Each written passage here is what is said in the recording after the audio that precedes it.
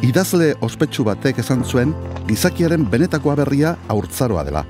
Ereserki eta armadari gabeko aberria, oroitzapen eta bizipenez eraikia. Gure nortasuna osatzen duten eguneroko osagaiekin sortutako aberria.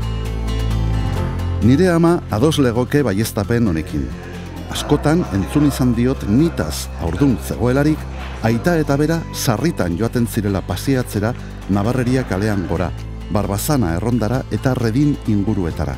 Aitari, zaldizuriko obrak nola zijoazen ikustea, gustatzen omen zitzaion.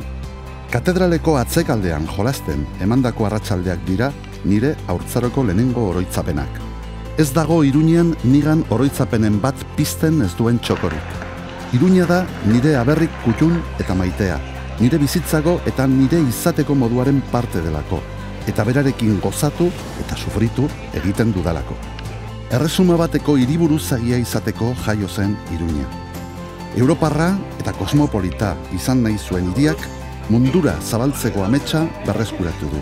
Zabalgune erraldoi batek haize freskoari bidea egin dio, eta oksigenoz, argiz eta ilusioz bete ditu Iruñeko karrikak. Iruña aldatzen ari da, aldatu da dagoeneko, jende askok denbora luzez borrokatu zuelako aldaketa gauzatu zedin. Eta aldaketa hemen dago. Bide luzea izan da, baina merezi izan du. Hemen gaude. Gaur iruña handiagoa da, arrezi mentalak gainditu ditu eta hasi egin da. Egun iruña itzela da berdintasunean, elkartasunean, anistasunean eta memorian.